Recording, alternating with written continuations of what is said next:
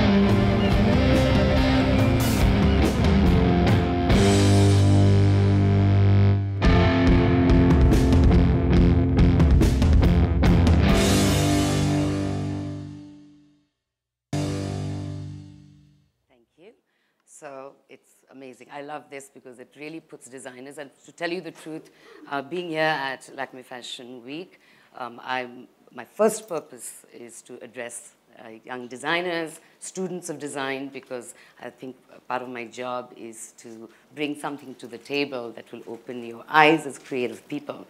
Um, so what I'm going to talk about is disruptive thinking in fashion.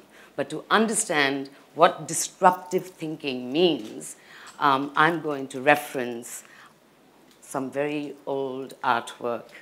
So, so if you look at these two works of art, this one is by a Dutch artist, incredible artist called M.C. Escher, who worked a lot with geometry, mathematics, architecture, and he started building this sort of structure where he works with a pattern below here, okay? And then when you allow your eye to travel upward from this sort of pyramid-like pattern, this mosaic over here, as it goes up, it travels and then it becomes a flock of birds. So the assumption is that your perception, the way you see, is when your eye travels upward, you start breaking down, you start disrupting, you start destructing this in order to reach the new idea.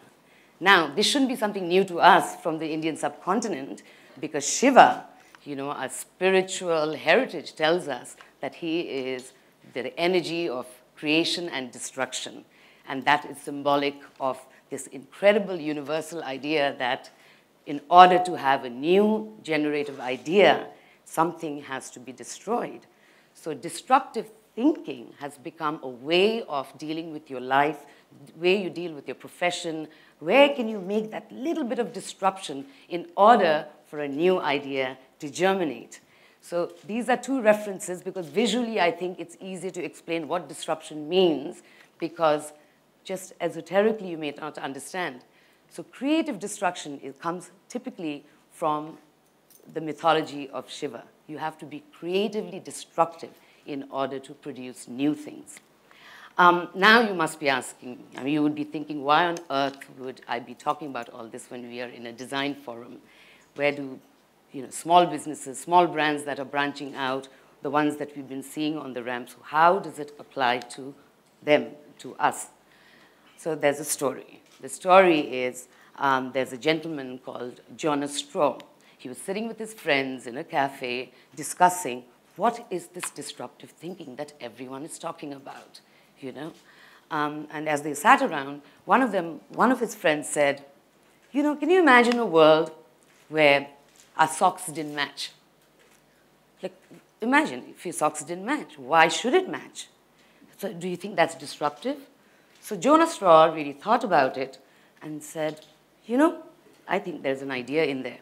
So he started a company where he created a company called Miss Little Mismatched, where he got 19 million in funding for the sheer power of his idea, where he created a sock company, which is not just two socks, three, and none of them match. And a simple idea like that could become a huge business. In fact, his business is supported by um, uh, the same funders that support Build-A-Bear. Okay, so you can imagine the, the gravitas of the money that came into, into this brand. So if you look around, look at the way we live our lives. You know, there's the taxi service, but today we have Uber. There's bread and breakfast that you could have booked, but now you have Airbnb. Um, every stage of our lives has been changed by disruptive thinking. And of course, technology plays a huge part with disruptive thinking. Very side by side is, of course, the idea of innovation. You cannot be disruptive in your idea. So eh, let's say, when you look at your own business, when you look at your own lives, and you say, how can I be disruptive? All you have to look for is that cliche in your life, cliche in a brand. Today with social media, you can go and look up what people are saying online, and you can pull out what are the stereotypes, what are the cliches that are associated with your brand. And then you twist that cliche and make it into an opportunity. That's disruptive. When you twist that, then you, you will be propelled towards innovation, okay? So being innovative, of course, is one of the things that makes us evolve, whether as people or as businesses. And so my question is, how innovative are we as Indian designers, as the Indian creative fraternity? And who is India's Billie Whitehouse? Now, to tell you who Billie Whitehouse, she's a young lady from Australia. She works, she studied design. Um, She's a designer like a lot of you here, and she decided that she is going to find a, a place where she can bring technology and her design sensibility and fulfill a certain need that people may not have even recognized in their community, okay? So what she did was she opened a company called Wearable Experiments, and she's created some phenomenal stuff out of simple things like underwear, a jacket, which I'll all come to. But this is one of the projects that became super successful because of the need that she the need that she filled in our daily lives. Um, please look at it for the purpose of why this is being shown, because I think you'll have fun watching it.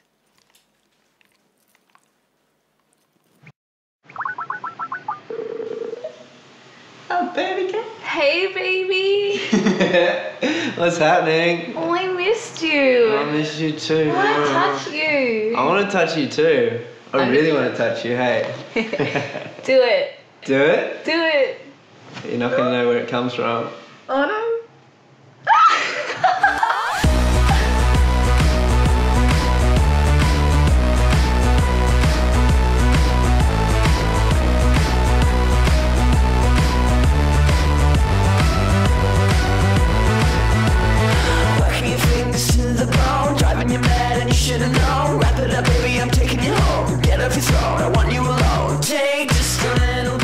Like a touching music. Yeah.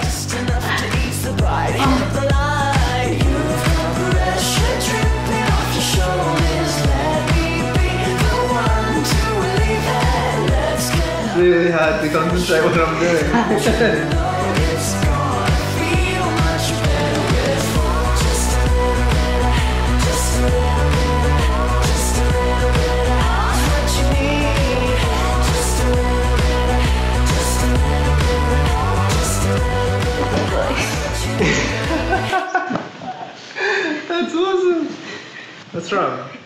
It's at the dog. Um, okay, so of course, what she created was she took underwear and she had the technology and she took the sense of touch through the internet across continents. She's a design student. I mean, she was a design student. Now, with wearable technology, she's innovating. We are the land of technology. I want to know where are we collaborating to create products that actually serve a need. Now, she not only did this particular Fundawear uh, initiative, which is super successful, the next one she did was, you know, she was in New York. She's walking around with the Google Maps, looking down the whole time, and she's like, there I am in this beautiful city. I don't even look up. I'm constantly looking down to see where I'm going. So she said, I'm just going to make a jacket. That is a GPS jacket. So she's made this super cool jacket, okay? So it's a GPS jacket. You wear it. It's called New York Navigate. You wear it. If you have to take a left, you get a tap on your shoulder on the left. You want to take a right, you get a tap on. If you have to stop, it's a double tap. You know, so such a simple need that was fulfilled with the help of amazing technology that is at our fingertips today. Um, so I find her very fascinating because she comes from the same world that we inhabit. You know, we're all educated. We've all got the kind of opportunities that, you know, we should be so grateful for. So I want to know who is going to be or who are our Indian Billie Whitehouses, okay? Um, so the next thought process that I want you to take, want to take you through is, so you have sort of, you know, uh, disruptive thinking, then you have ways to innovate, but the innovation can only happen if you believe in um, coalition. You have to believe that, you know, we live in a mashup world. Mashup as a term was created by musicians, you know, they took two different types of music from two different areas, mashed it up and created something new. Filmmakers have done it. Artists have done it. Artists have done it. William Burroughs used to do this. Um, but in our own lives, in design and within our own country, how much of this mashup are we doing? Are we really putting our heads together and saying, I want, as a textile designer, I want to work with a scientist. As a graphic designer, I want to work with a musician. I think when there is a coalition of great thinking minds, new ideas germinate. Innovation becomes actually quite, you know, becomes the reason that propels you to keep doing more. Um, you know, this sort of coalition, as I speak, there are kids out there in the design world now who are collaborating with scientists and they've created fibers that they're making clothes out of, which is from leftover coffee beans, from milk that is not going to be used. So they're bringing back into the cycle what is what can be reused, but that sort of experimentation only happens when you believe in this creative mashup where you can be like this open door and you want to take all kinds of influences from everywhere. Um, the next slide I want to show you, this just goes to show. So this is this young designer. Um, you know, her name is Naomi Kizhner. She's from Jerusalem. And she's an industrial designer. And she said to herself, you know, fossil fuels are going to be over very soon. Our environment is not going to be able to provide it all the time. So how are we going to generate energy? So as an industrial designer, what she's done is create a jewelry that can be embedded in your skin so it traps the kinetic energy from your own body. Now, is this something that is happening now? That's not the point. She's already laying out a template for, for the future. You know, so I, what I find interesting, especially about this story, is that so many ways she's looked at her creativity. She's worried about the environment. She's, you know, she, as a woman, perhaps loves her jewelry. She's the industrial designer, and she's able to bring all these expertise together to bring a product to the world that would mean something and has impact. Okay? Why is it so important? Because the world has changed, okay? Um, the world has changed because now it's circular and it's shared. You know, it's funny that all these big terms like circular economy, shared economy are words that are used by biggest corporate heads of, you know, Accenture to Google to Amazon, you name it. But they talk about a shared economy. There's a, some sort of like, when you say shared economy, it's a sort of a realization that the world has changed, that it's good to be kinder, it's good to think about the environment. You know, the shared economy implies that it's also circular. I was listening to a talk by the managing director of Accenture, which is a huge technology company, and he gave a speech, a talk during the Copenhagen Fashion Summit, which is the biggest sustainable fashion summit in the world. And he talks about the circular economy being the earlier one was linear, which means it's like a straight line. You uh, get the raw material, you make your product. After the product's use is done, it goes into a landfill. So it is, you create and it's dumped. The problem is becoming so big that, you know, I have some statistics from UK, I don't have from India, but 10,000 units of garments get dumped into a landfill every five minutes in, in the UK. But if you start thinking about the circular economy, then what happens is instead of dumping, you are reusing. So we have to start thinking in the way where whatever we produce and whatever you do has to recycle into the system. So that's the reason why words like this, you know, the, they're the very heavy words that very, very important people in the world of business, technology, production, they're using, that the world is circular and the world is shared, which means it is amazing if you can think about, you know, slow fashion, sustainable fashion. You can talk about waste management as part of your design protocol. We can't leave things in isolation. Circular means it goes around, shared means we have to address all these problems and make it part of the design DNA. Um, the next slide. So that's my daughter. Uh, Disruption Innovation Coalition. Why should it matter to our world, our world, our Indian world? And, you know, my next slide is, oh, sorry, it's right here. Yeah, because, because I think in India we live in very bipolar times, right? As you know, you and me, we are constantly negotiating. Am I vernacular or am I English? Am I urban or am I rural? You know, am I regional? Am, I high rise and low rise? We're constantly juggling. Are you, I think the biggest thing is this dichotomy that we have in, in, our, in our fashion world, in our everyday world. It's very chaotic and I find it bipolar. Um, and in the fashion world too, you have this, the urban fashion world you know, which is beautiful and it's fancy. And we know that, for instance, uh, urban wedding bridal fashion industry is, goes into billions, you know, 32 billion US dollars, dollars per annum. And on the other hand, you have the artisanal fashion of the rest of India that employs about 40 million artisans all over India. And suddenly you see how dysfunctional that whole system is that there seems to be no balance in the way we as a nation seem to sort of communicate. Um, so the reason why disruptive thinking in this country would matter a lot because you've got to bring it to this map. And I don't think it's as simple as saying, one season I'm going to do a collection with ikat, or I'm going to do one season with uh, tie-dye. That's beautiful. Of course, you must continue. But disruptive thinking means that you've got to find ideas, collaborate with a variety of people to be able to make an impact that impacts this world of handlooms.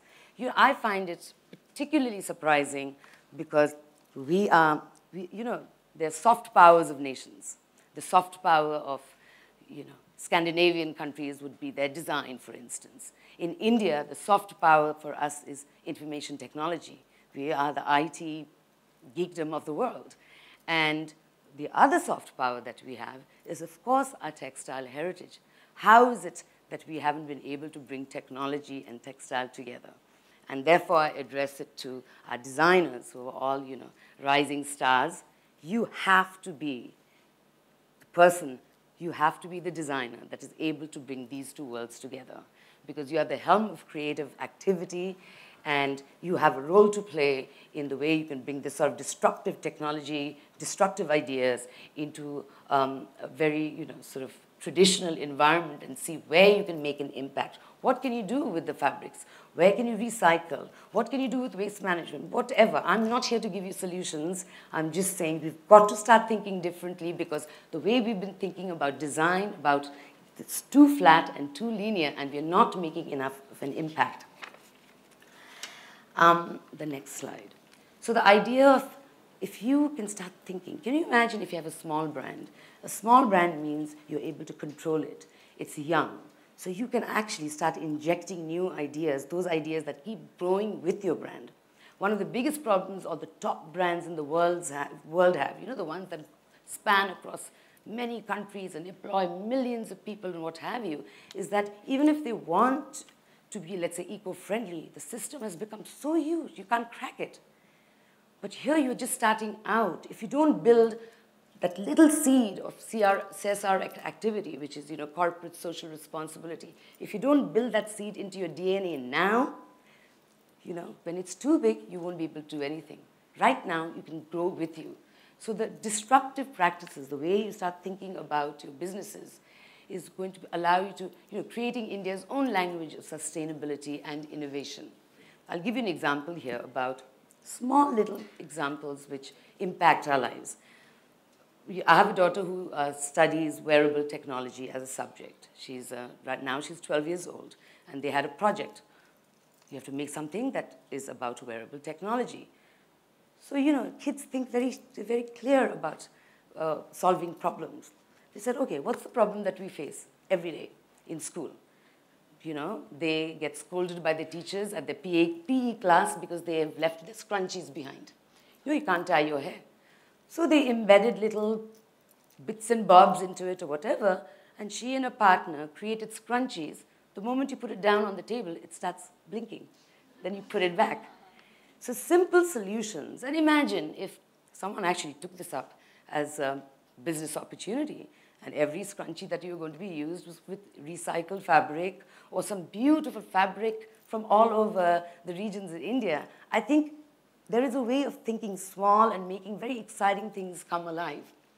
Of course, bridging grassroots and glamour. Disruptive thinking is the only way we can bring two very disparate worlds together. I mean, a fashion week like this that is so successful and wonderful that generates about you know, 50, 60 crores of editorial coverage, things that we write, we photograph, we talk about, you know, it's so popular online. Um, the strength of um, you know, an event like this, how can we harness it to use it as a platform also of social change? That it's fun, that we're designing, that we love wearing clothes, that we love watching shows, that's one thing. But if so much of editorial content, so much noise, and everyone's fascinated with the strength of the event, somewhere perhaps we should start thinking about where can we put in uh, an agenda of social responsibility. Um, of course, I just talked about CSR building into your brand when it's small so you can grow with it. And of course, collaborating, oops, collaborating um, with like-minded people, but also the ones who don't necessarily have to belong to your genre of creativity. Um, and I want to be able to tell you something that is very, very close to my heart, which is I think, you know, designers can't look at their work as just design anymore. It doesn't work when the world is changing so rapidly. You know, design for design's sake shouldn't exist right now in our country and our needs. Every time you design, think of what can you do to make an impact. It's a very Gandhian way of looking at things, by the way, because he always said, whatever you do, think of the most disenfranchised person who can benefit from it. So I don't mean to pontificate, and um, but I think it should, you know, it's a great feeling when you think that you have a certain responsibility um, because the country is so huge and needs so much of your attention. So everything that you design, the opportunity out there to reach out to a universe, you know, is much more than just addressing us few who will come anyway. You, you know, you're, you're talking to uh, the converted. So that's my request. So disruptive thinking, if you just tweak what, the way you're thinking right now and expand your horizons a little bit, I think we're going to see much more creativity, creativity that has also a great social conscience. So as designers, if you can make me, the consumer, from fashion conscience, conscious, from fashion conscious to having a fashion conscience, I think that is disruptive. Thank you.